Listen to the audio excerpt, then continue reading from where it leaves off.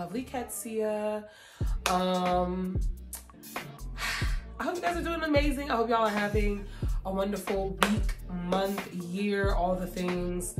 Um, I hope you guys are being productive, doing your thing, having fun, enjoying your year, staying connected to God, praying, worshiping, enjoying life. You know, all the great things I hope you guys are doing.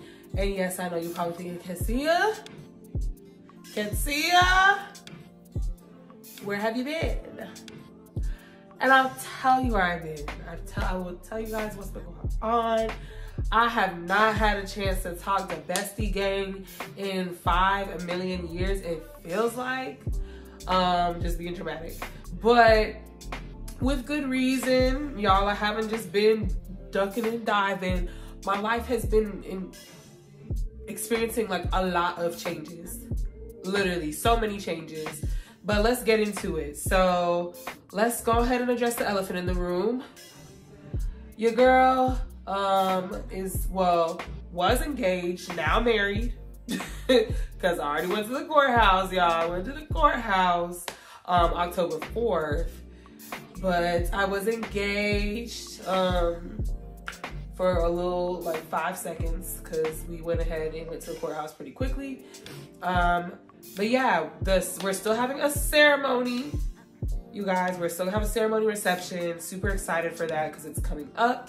But everything was kind of put in, into X Games mode. Um, but yeah, I mean, when you know, you know. When you want to be with the person and you guys are sure of each other and you know that um, you're going to continue to choose each other because love is not just a feeling, it's also a choice to continually stay committed and um, in love with a person is a choice and a commitment and a serious one at that. Um, but yeah, I am now a married woman. My, you know, maiden name gonna be Chop. You know what I'm talking about? Have not got my name changed yet. Planning on doing so probably after um, we go on a honeymoon. Um, but depending on how soon we plan on doing that, because you know, work and stuff and all the things. Excuse me. And I recently had a break from work. Y'all, it sounds like my voice is, is going. Y'all hear that? It don't sound like it's and you know what? I would be in the name of Jesus. My voice will stay intact. But yeah, I probably just need to drink some tea. And the weather is changing. The weather is changing drastically out there. So I know it probably has a huge um, thing to do with that too. It's cold, y'all. It's cold and the weather dropped out of nowhere. Literally out of nowhere. But we digress. Um, I'm just super excited for everything that's coming up. Um, weddings coming together, but you guys, you guys, you guys, you guys, keep me lifted up in prayer. If you pray to Jesus Christ and you love him with your whole heart and, and you one of the saints, for real, for real, not for fake, keep me lifted up in prayer. Otherwise, just send well wishes. No hate, all love. But yeah, I need Jesus to be in this situation real heavy. So come together, saints of God. Kobo Shata. Um, but yeah, I'm really excited though because it feels like things are really coming together. Um, the way that he proposed to me is really simple and cute and honestly is fitting for us because as much as I enjoy like grand, you know, stuff or whatever, like really big deals about things, it could be great. But sometimes certain things I feel like just needs to be intimate. We had an intimate proposal, which is ideal because sometimes it's, I don't know, I, it's a hit or miss for me when people do public stuff, but intimate stuff is never a miss. It's almost a guaranteed 10 out of 10 for me because you can really be heart to heart, um, love on each other, have all the vibes, and it just goes well. So I'm glad that he took the intimate route. No hate to the girls who had the big public diddly, because that's beautiful too. There's beauty in intimacy and there's beauty in grand gestures. And yeah, but I'm really happy with how the proposal went. Um, I'm really happy with the ring that he chose. to be quite honest, when we're discussing like our future and oh, we're gonna get married, da, da, da, I was like, okay, well, whenever the day does propose, these are the kind of rings I want. And so I gave him a blueprint and he stuck to it, which is great because I hate for somebody to freestyle and get something I don't like. like, I'm one of those, please If you need help finding a gift, if you need help figuring it out, ask my family, ask me. But if you try to keep it super, super top secret, ask my family. They know too, because I'm very clear cut. I even have a whole Pinterest board of engagement rings in different styles that I like. So I was one of those girlies. But yeah, um, super excited because a lot of great things are happening. We are gonna move into an apartment together fairly soon. Very excited for that. Um, I, if you know me, you know that the only time that I have ever lived on my own was when I was in college. Um, I've never been outside of my parents' house outside of that. so it's crazy that my first time moving out is gonna be because I'm a married woman. Excuse me, because I'm hold on, let me get some water. This, because I'm, like, dang.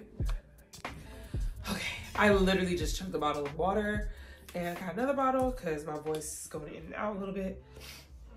But yeah, so we're, it's crazy because the first time I'm living away from home is gonna be because I'm a married woman now. Like literally, that's crazy. Um, but move-in date is a little bit before the wedding.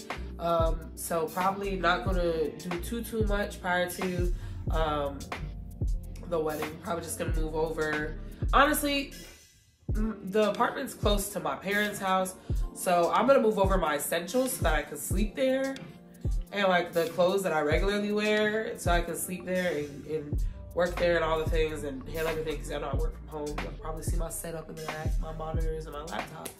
Um, but but yeah, like I'm not gonna rush to move everything over. Just my essentials, just the stuff that I really need to have um, my day to day and the clothes that I need to get through. Um, but I'm gonna. My goal is to have everything moved over before um, the end of November. So that's my game plan. Hopefully that is the case. Um, but we shall see. Uh, but yeah, it's a really nice apartment. Super excited. Um, there was another apartment I tried to move forward with prior to. They gave me a lot of problems. Had to get involved with the higher ups in the um, in management because there was a whole just situation that went left. Um, it was a beautiful complex, but for the amount of money that we would be paying and the amount of mess we were dealing with before even stepping foot there and signing a lease was crazy. So yeah, you guys, whenever you feel that unction in your spirit, when the Lord tells you maybe you shouldn't go with whatever, listen to God because I was about to sign this lease and all this and, and all this. And when I was looking, I asked God, God, like, where should we live? Where should we live? Like, how do you feel, God? And I felt like the Lord told me the apartment complex that I now signed a lease with. But my heart really, really wanted to go with the other one just because it was more, more like, I guess, I don't even know. It just, it was really pretty. But the apartment complex I'm going to now is pretty too. But it, the other one was like just really, really like aesthetically, like super, super, super aesthetically pleasing. But it was just a few things that I was like, uh, not really worth it. Because I could still get the aesthetically pleasing vibes at another place with less hassle. And I should have stuck to my guns. And, you know, I was about to move forward with the process. I really was. And we had to back it up on out. Because they was acting a fool down at this apartment complex. We digress. Um, but yeah, that's happening. A lot of things are happening pretty quickly. Um, but you know what? I'm batting down the hatch, my hat, the hatches. Is that the saying? Batting down the hatches. I don't know. Anyways, I'm really just bracing for. I don't, I don't want to say impact, but like transitioning into the new and try my best to do it with grace and with peace. And a lot of times, like whenever you're like making those maneuvers and stepping into new areas and arenas in life, like it can come with a little bit of stress and anxiety and a little bit of worry. But when you know you're making the right decision, you're gonna feel more peace than anything. Like even in moments where you should feel like, oh, you're gonna feel God's peace about it. And I feel God's peace about it, and I've been prayerful about this, and I'm super excited. And it's crazy because my pastor said this was gonna be the year of horsepower. And when I tell you, boop, boop, boop, boop, hit the ground running, a lot has happened this year. So but I'm grateful. I'm happy. I'm in a good headspace. Um, my husband is excited about everything too. We're just ready to get our lives started together and enjoy each other and just, you know, chase after all of our dreams and make this happen. Make this thing called life happen for us in the best way possible. Of course, we want to have kids. Um, and we will in the name of Jesus. That's going to be a thing, period. Um, and of course, we want to travel and enjoy life and make memories together and just, you know, have our little family. Like that's, that's, it has to be a thing. It's just going to be a thing. Um, and so just being prayerful about that, stewarding those things well, and trusting that God's plan for our life will come into fruition um, so long as we stay in alignment with Him and continue to pray. That's just my MO. You know, in this thing called life, you need to be pray with specificity. Ask God with specification of with and with anticipation and expectation of what's to come. You know, and God is not a genie. He does not have to do something just because you're asking and praying for it. If it's not his will, it's not his will. If it's not his bingo card, it's not his bingo card. But he's still good even in that. Even in that, God is still good. So let's keep that in mind. Um, but you know, really, really, really inviting God in to your life because you know, God has foresight, God has knowledge and, and awareness of things that supersede any of the things our mind could even wrap around, supersede any of the things that we're even aware of. So inviting the creator of the universe in, inviting Jesus in and asking Jesus to help you order your steps, inquiring, is this the direction you want me to go, that direction? Like God, give me clarity. Praying with specificity about things, being extremely specific, okay, is necessary.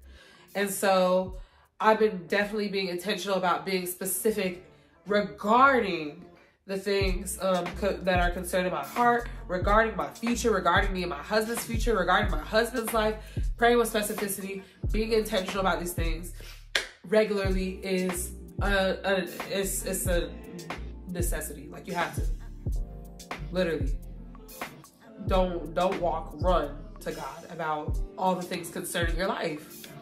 But yeah, so I'm really excited, uh, y'all. Alert. Um, but yeah, and regarding, let's see, what else? I already talked about engagement, intimate, really cute. He got a ring I really like, big purr. Um, wedding coming up really soon, the move. I feel like that's really what's been going on. Um, I'm new jobs going well, training and stuff. It's a long training process because we work really closely with big wigs from other companies and understandably so we have to train because you don't want to put your foot in your mouth you don't want to do the wrong thing one too many times. Like you know what i'm saying? People are forgiving but when it comes to business you need to try and be tact. You need to be on your p's and q's. But work is going well. Um, super happy with that. I feel like i have my life back. I've been saying that. I'll continue to say that. I feel like i have my life back. I thank god for that because working in daily rental with enterprise was a jump scare. I'm not gonna lie, it's not for the weak. Okay, it's not for the weak. You meet a lot of cool people, but burnout can get real, real. Being overworked can be a thing. Feeling like your life is is not fully yours is a thing, and it was something I was experiencing while there. So, but it did open the door for this opportunity. Enterprise itself is an amazing company. They take care of their people it really isn't a bad company to work for at all. And you meet a lot of cool people working in daily rental and even outside of daily rental because now that I'm working from home in a diff- completely different sector of enterprise, I'm still meeting a lot of cool people. I'm still enjoying the engagements and the connections that I'm making, even in this new role. But it just looks different because I work from home now. But yeah, I mean, everything's going pretty well. I thank God for that. And for the things that aren't perfect or exactly how I see it to be, I still count on all joy because God can make beauty from ashes. God can turn around whatever circumstance. And God is still good even when everything isn't going perfectly or even if everything in your life isn't good. You know what I'm saying? There there's still there's still a beauty um, in, in this thing called life, even when things aren't perfect. Granted, right now, life is going pretty well. There have been some rifts and runs and things that I've had to work through. My life is not perfect. Please know this. There are things that I deal with privately There are things that other people deal with privately. Don't ever be envious. Don't ever be jealous. Don't ever be any of those things because nobody on this earth, even someone with the shiniest looking life, they have something that they're working through, something they're dealing with, things that may not be ideal. You never know. Stuff that you might even be like, dang, I even know they had that going on. I couldn't handle. So y'all, this is not a video to glow. Oh, oh, this is just a catch up with me video. This is just a, this is where things are video. Literally. But trust, everybody's fighting their own battle. Everybody has their own stuff going on. Things, I don't share my entire life with you. And nobody does. And I'm adding this to the video because I know some people, there might be people out there like, dang, I've been waiting to be married. Dang, I've been waiting to move out. Dang, I don't have the money for this. Or I'm not getting this job. Or I'm blah, blah, blah, blah, blah, blah, blah. Baby girl, baby boy, whoever. Honey, let me tell you something. Let me tell you something. Not everything in this life is given. And even if it looked like it was just the, oh, this is so easy. They got this, da da da. That's not always the case. My life is far from perfect. God has blessed me, but I've also had my fair share of trials and tribulations through all these blessings. So love your life and trust God's plan for your life. If you get anything from this video, trust God's plan for your life. Trust God's timeline for your life. Submit your your your will to God and let God's will be done in your life because it will be the best outcome. And it may not come packaged how you think it should be packaged. It, it might be a very unique tactic to get you to where you need to go or get things to where it needs to be. But trust that if it's a God thing, it is a good thing. And if it's in God's hands, it is well. Even if it doesn't feel like it is well, God is good, so it is well. Trust God. Invite God in. Don't be envious. Don't be jealous. Don't be nothing about nobody else's life. The grass is always green on the other side. And maybe this person just came out of a real crazy season and God is putting them in a blessing season, a season of fruitfulness. Maybe you're in the middle of your, your um, yea, thou walk through the valley of the shadow of death season, but you're being fruitful, multiplying, and glory to glory season might be just right around the corner. So continue to press in with God and walk this thing out. And everything you desire out of this life, God willing, will be yours at the appointed time.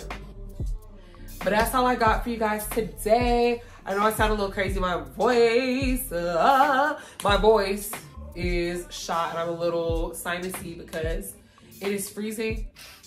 And I was already having sinus issues because my allergies and stuff prior to this. So this weather change kind of kicked me in the throat, you know, talk about.